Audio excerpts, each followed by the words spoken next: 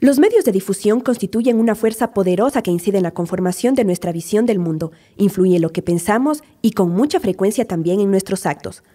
Los medios de comunicación entonces tienen una gran responsabilidad con la sociedad. Podrían ser ejemplo de igualdad de género, mostrando a las mujeres en diversos trabajos y situaciones y representarlas en todas las áreas de cobertura. Sin embargo, los medios siguen en gran medida haciendo lo opuesto. En una era donde los medios digitales transmiten noticias de forma inmediata, es una gran oportunidad perdida que el contenido transmitido no haya evolucionado a la misma velocidad que la tecnología, incorporando cambios que se han ido generando en la sociedad, proponiendo retos para acelerar estos cambios hacia la igualdad. A partir de 1995, con intervalos de cinco años, el proyecto de monitoreo global de medios, GMMP por sus siglas en inglés, mide el cambio en la representación y participación de las mujeres en los medios de comunicación. En 2015, la evidencia que proveniente de más de 100 países confirma que el avance es desconcertantemente lento. Las mujeres, como sujeto de cobertura, apenas ocupan una cuarta parte del tiempo en la televisión, la radio y la prensa escrita. Constituyen únicamente 19% de las personas que aparecen consultadas como expertas en las notas informativas, aunque hay más reporteras en comparación con 1995,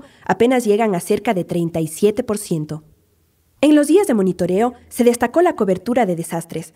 En 2015 se informó del accidente aéreo en casi todos los países europeos, fue prominente en las noticias de América Latina y en general menos visibles en las noticias del resto del mundo. En general, la tendencia fue el predominio de los temas de política nacional con respecto a los de política internacional y, ciertamente, más visibles que las noticias económicas. El interés en el proyecto de monitoreo global de medios ha crecido considerablemente desde el primer ejercicio en 1995. Desde el primer GMMP, el número de países participantes ha crecido un 60%. Temas en las noticias. La mitad de las notas informativas cubrieron noticias sobre política, 25%, y temas social legal, 27% combinados. Del total de notas, 2% no entraron en ningún tema principal. El tema que menos aportó a la muestra fueron noticias sobre ciencia y salud, una tendencia que se presentó en el monitoreo de 2005 y 2010. De los temas principales, el de economía fue el tercero que más aportó a la muestra, seguido muy de cerca por noticias sobre crimen. Cinco años atrás, el volumen de noticias sobre crimen excedió al de noticias económicas, y en 2005, el número de noticias económicas apenas si excedió a las noticias sobre crimen violencia. Las notas informativas sobre política destacaron en África, 28%, en Asia 28% y en Oriente Medio 30%. Una tercera parte de la muestra de noticias en Europa y América Latina abordó noticias en los temas social legal debido al accidente aéreo en los Alpes franceses que ocurrió el día previo. Las notas en ciencia y salud fueron las que menos noticias aportaron a la muestra en todas las regiones, excepto en África y América del Norte, donde noticias sobre celebridades fueron menos importantes, con 8 y 7% del total de las noticias respectivamente. En Oriente Medio, el volumen de notas sobre celebridades fue tan poco significativo como las noticias sobre ciencia y salud, contribuyendo cada una de ellas a solo 6% de las notas informativas de la muestra. Las noticias sobre política y gobierno constituyen cerca de la mitad de todas las notas informativas monitoreadas en África y Oriente Medio, con 45 y 44% en sus respectivas muestras, aproximadamente 11 veces más el número de notas sobre política en los medios tradicionales en ambas regiones. El porcentaje de noticias sobre celebridades fue mayor en las notas informativas digitales que en las noticias en la prensa escrita, la televisión y la radio en todas las regiones, exceptuando África. En América Latina, el tamaño de la muestra de noticias digitales que abordaron el tema de celebridades fue más del doble del tamaño de la muestra codificada en los medios tradicionales. Las notas informativas sobre los temas social y legal fueron tan numerosas en las muestras para Internet y Twitter como lo fueron las notas informativas en prensa escrita, radio y televisión. Tema y espacio en los diarios. El espacio físico asignado comunica el valor de la noticia o la importancia que quienes producen noticias asignan a una nota informativa. Casi la mitad de las notas informativas monitoreadas en medios tradicionales provinieron de diarios. Dependiendo del ángulo de la noticia, los artículos que abordaron el accidente del avión de Germanwings, en la mayoría de los casos, quedó codificado bajo el tema principal social legal. Las notas en este tema, la mayor parte de las cuales abordaron esa tragedia, fueron prominentes ocupando un cuarto de página, un tercio de página, media página o la plana entera. Las notas que ocupan menos de una cuarta parte de la página constituyeron 29% de los artículos sobre política y gobierno. Las notas informativas a las que fue menos probable que se les asignara la plana completa cubrieron noticias sobre ciencia y salud, 9% de los artículos. Las noticias sobre mujeres están en las notas que ocupan menos espacio. A lo largo del periodo que inició en el año 2000 y culminó en 2010, el GMMP descubrió un incremento lento pero constante en la presencia de las mujeres en las noticias. En efecto, la brecha de género se había cortado en tres puntos porcentuales cada cinco años. Sin embargo, el cambio en el indicador mundial general se detuvo totalmente en los últimos cinco años.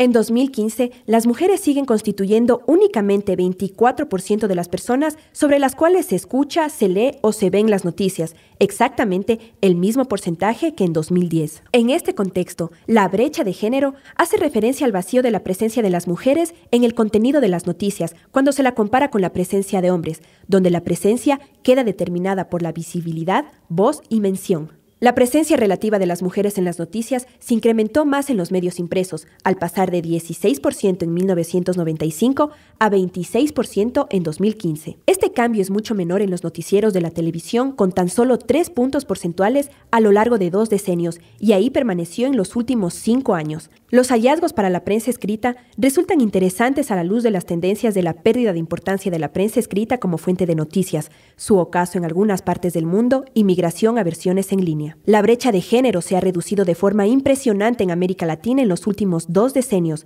en 13 puntos porcentuales, al pasar de 16% en 1995 a 29% en 2015. Europa y América del Norte le siguen con una reducción de 9 puntos porcentuales. América del Norte sigue manteniéndose como la región con la menor brecha de género en relación con el resto del mundo, desde que se iniciara el monitoreo sistemático del GMMP. En efecto, en esta región las mujeres constituyen hasta 36% del total de personas que aparecen en las noticias, el doble de la proporción de mujeres que aparecen en las noticias en Oriente Medio. Resulta interesante que las regiones de Asia, el Caribe y el Pacífico muestran una mejora más o menos uniforme de 6 a 7 puntos porcentuales en cuanto a la presencia de las mujeres en las noticias en los últimos 20 años. La aparente falta de avance en África podría explicarse, entre otras razones, por el fuerte crecimiento en el número de países donde se recabó la información. En efecto, en 1995 solo se recabó información en 12 países africanos, en comparación con 32 países de la región en 2015,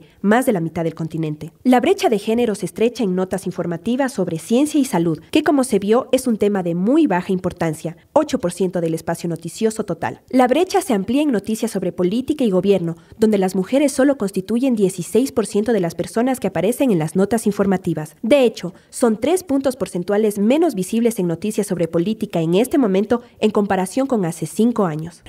Información reciente sobre el uso de Internet revela que hay más de 3.000 millones de usuarios de Internet en el mundo. La mayor tasa de usuarios se encuentra en América del Norte, 88% de la población, seguida de Europa, 74%, y la región Pacífico, 73%. La tasa más baja de usuarios se encuentra en África, 27%, y Asia, 39%. Evidentemente, este patrón refleja las desigualdades económicas y de infraestructura mundiales, así como culturales y otros factores que se discuten en los trabajos que abordan la división digital mundial. Internet ha cambiado la esfera de las noticias e impactado tremendamente a los medios tradicionales. El número de personas que utiliza Internet como principal fuente de información se incrementa día a día y las audiencias de noticias en línea han crecido exponencialmente. Aun cuando los medios de radiodifusión y la prensa escrita siguen teniendo importancia como fuentes de información, se encuentran bajo presión en un ambiente digital, en la medida que se ha abierto camino una mezcla de enfoques tradicionales y nuevos hacia las noticias. Las plataformas de las redes sociales, como Facebook y Twitter, siguen creciendo en importancia como fuentes de noticias. La primera asegura contar con 1.49 mil millones de usuarios activos mensuales y Twitter 316 millones de usuarios activos mensualmente con 500 millones de tweets enviados al día. Temas de las noticias en línea. Las noticias sobre temas de política y social legal dominaron la agenda de las notas informativas en línea durante el Día de Monitoreo Global de Medios, 25 de marzo 2015. Ambos temas equivalieron a más de la mitad del número de notas publicadas en los sitios web de noticias en todo el mundo. También fue ampliamente cubierto el accidente aéreo de la línea alemana Germanwings, cuyas notas informativas constituyeron una alta proporción de las noticias bajo uno de los temas principales monitoreados, social legal.